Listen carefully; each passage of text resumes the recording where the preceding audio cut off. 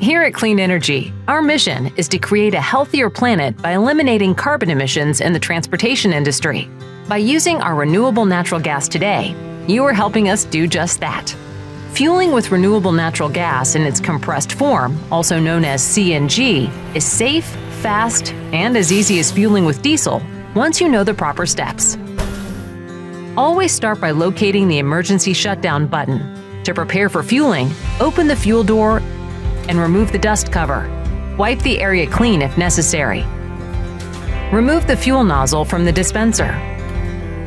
Inspect the hose and nozzle for any signs of damage to ensure they're functioning properly. Connect the nozzle to the fuel receptacle until you hear a click.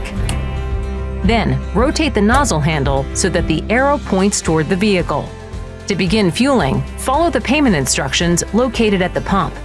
For Clean Energy fuel card holders, when asked for your driver ID, please enter your PIN. Depending on the station, lift the fueling lever up or push the green Start Fueling button Keep in mind that fueling noises are normal and the flow rate will vary as you fill.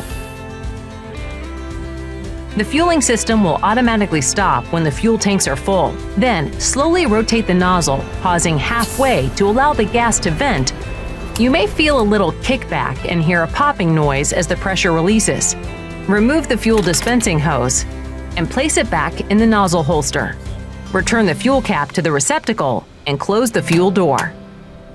For questions or assistance, contact Clean Energy's 24 7 response line at 866 278 3674.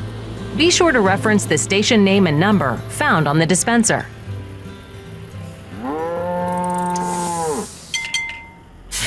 Clean Energy, shifting carbon into reverse.